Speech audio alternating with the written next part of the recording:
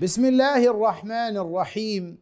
الحمد لله المستحق لجميع المحامد والصلاة والسلام الأشرفان الأنوران على إمام كل راكع وساجد وعلى آله وصحبه وكل عابد. سبحانك لا علم لنا إلا ما علمتنا إنك أنت العليم الحكيم.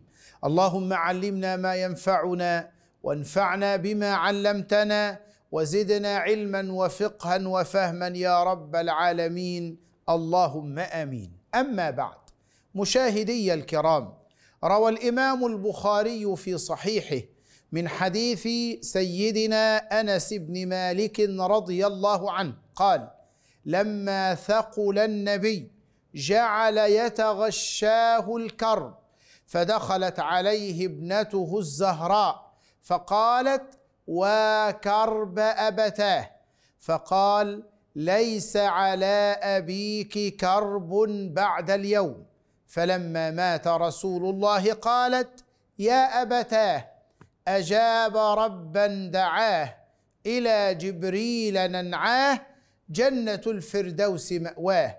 فلما دفنا قالت أطابت أنفسكم أن تحثوا التراب على رسول الله صلى الله عليه وسلم بأبي وأمي وبكل الدنيا وما فيها سيدي رسول الله صلى الله عليه وسلم.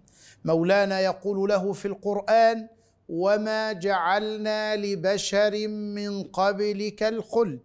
أفإن مت فهم الخالدون؟ كل نفس ذائقة الموت ويقول له إنك ميت وإنهم ميتون.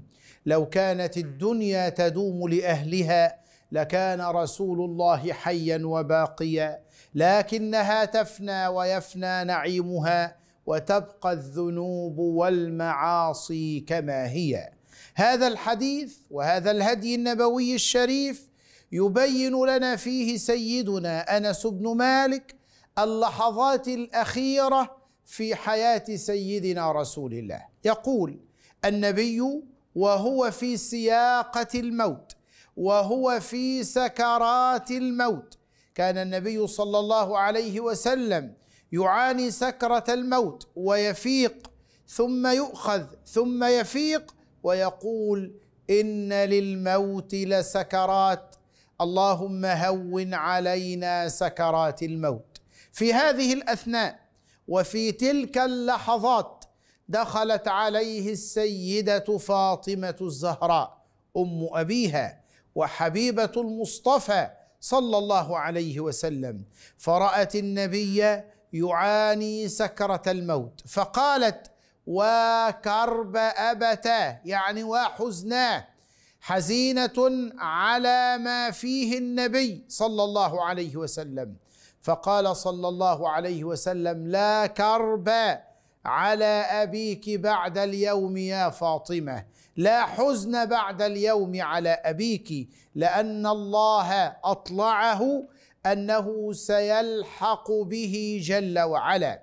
ثم أسر إليها سرا فبكت ثم أسر إليها سرا آخر فضحكت فسألتها أم المؤمنين عائشة يا فاطمة ما لك تبكين ثم تضحكين؟ ماذا قال لك النبي؟ فقالت ابنة سيدنا رسول الله وأشبه الناس برسول الله ما كنت لأفشي سر رسول الله. ولم تخبر به أم المؤمنين عائشة.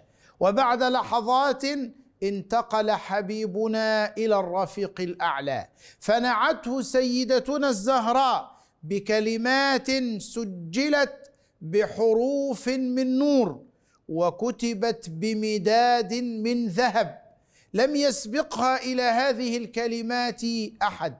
قالت يا أبتاه أجاب ربا دعاه إلى جبريل ننعاه جنة الفردوس مأواه.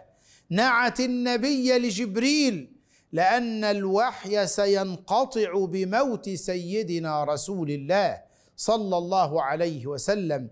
لم تعترض وإنما قدمت النعي لسيدنا جبريل. يا أبتاه أجاب ربا دعاه إلى جبريل ننعاه.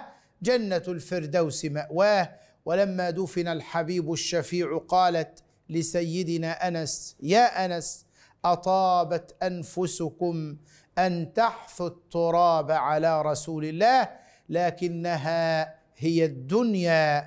مهما طالت فلا بد أن يرحل عنها الإنسان. صلى الله وسلم وبارك عليك يا سيدي يا رسول الله طبت حيا وطبت ميتا صلى الله عليك يا سيدي يا رسول الله وجمعنا الله بك في اعلى عليين ومتعنا بجوارك في الجنه اللهم امين شكر الله لكم حسن متابعتكم وسلام الله عليكم ورحماته وبركاته